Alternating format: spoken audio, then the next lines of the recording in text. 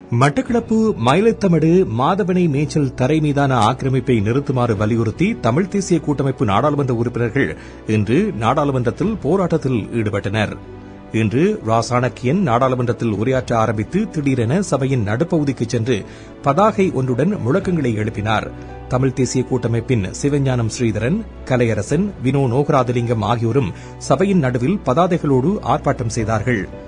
மயிலத்தமடு மாதவனை மேய்ச்சல் காணிகளை சிங்களவர்கள் அபகரிப்பதற்கு எதிராக தமிழ் பண்ணையாளர்கள் இன்று இருபத்தி இரண்டாவது நாளாக சித்தாண்டியில் தொடர்ந்து போராட்டம் நடத்தி வருவது குறிப்பிடத்தக்கது.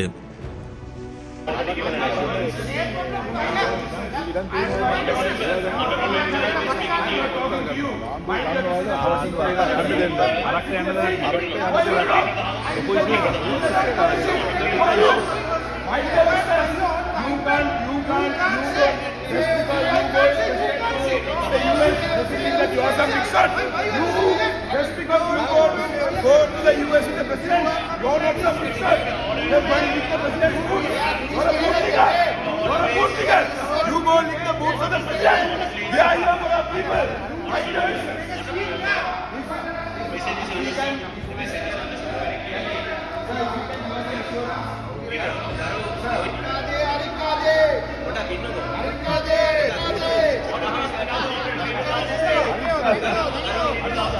Cadê? Cadê?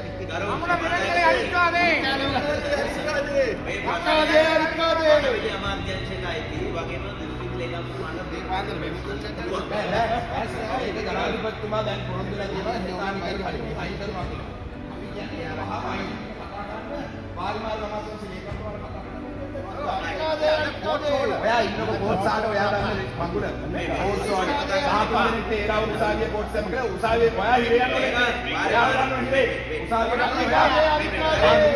I will refer to the uh, secretary to the Minister of Irrigation. No, the RPM is already asked the city official. Hello, hello, hello.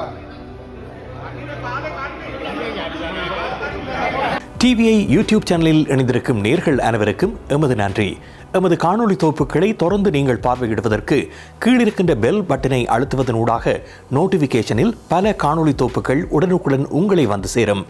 அருகில் இருக்கின்ற முக்கிய காணொலி தொகுப்புகளையும் பார்வையிட தவறாதீர்கள்.